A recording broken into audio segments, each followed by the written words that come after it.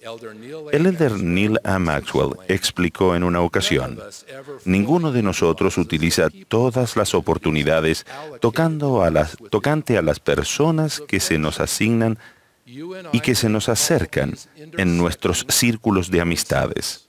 Ustedes y yo podríamos llamarlo coincidencia. Es comprensible que los mortales usen esa palabra, pero coincidencia no es un término apropiado para describir las obras de un Dios omnisciente. Él no hace las cosas por coincidencia, sino por designio divino.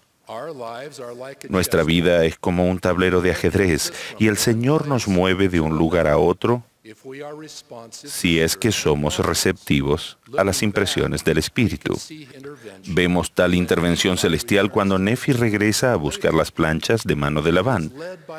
Este iba guiado por el Espíritu sin saber de antemano lo que tendría que hacer.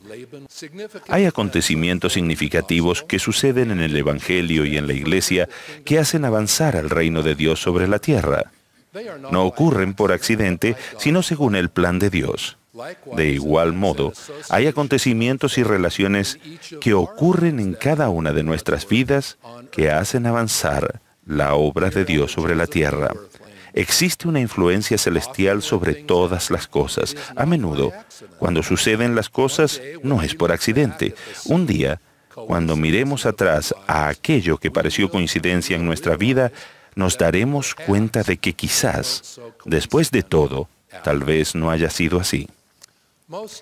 En su mayoría, solo algunas personas conocen nuestras buenas obras. Sin embargo, estas quedan registradas en el cielo. Lo que podría parecer una oportunidad al azar está, de hecho, dirigido por un amoroso Padre Celestial. El Señor se ocupa de los pequeños detalles de nuestra vida y esos incidentes y oportunidades han de prepararnos para elevar a nuestras familias y otras personas conforme ayudamos a edificar el reino de Dios en la tierra. Recuerden, tal como el Señor dijo a Abraham, Conozco el fin desde el principio, por lo tanto, te cubriré con mi mano. ¿Qué deben procurar ustedes en su vida? ¿Cuáles son los milagros de Dios que les recuerdan que Él está cerca y que dice, aquí estoy? Piensen en esos momentos, algunos de ellos diarios, en que el Señor ha actuado en su vida y en los que Él ha vuelto a actuar. Atesórenlos como momentos en que el Señor ha mostrado confianza en ustedes y en sus decisiones, pero permítanle magnificarlos a ustedes más de lo que pueden hacerlo por sí mismo. El Padre Celestial puede colocarnos en situaciones con cierta intención específica en mente. Cada uno de nosotros es preciado y amado para el Señor, quien se preocupa, susurra y vela por nosotros de forma particular para cada uno. El Señor ama estar con nosotros. No es coincidencia que al sentir su espíritu y actuar de conformidad con los primeros susurros, sientan lo que Él ha prometido.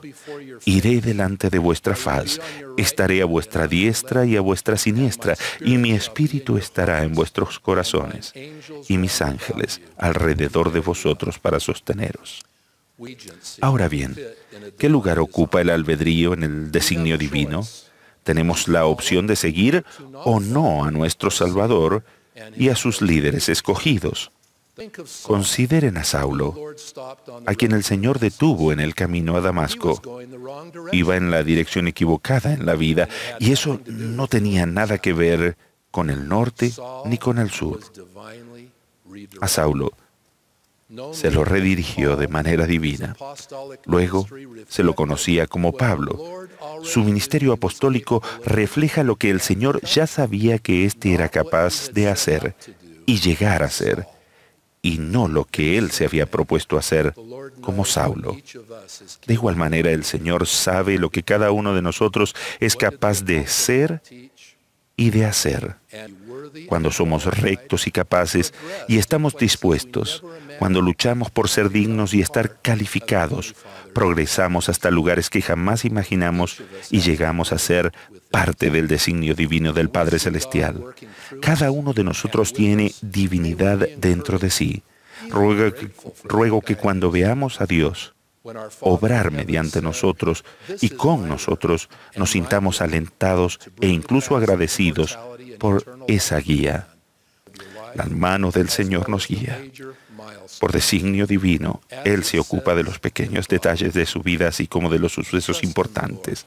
Tal como dice en Proverbios, confía en Jehová con todo tu corazón y Él enderezará tus veredas. Testifico que Él los bendecirá, los sostendrá y les brindará paz. En el sagrado nombre de Jesucristo. Amén.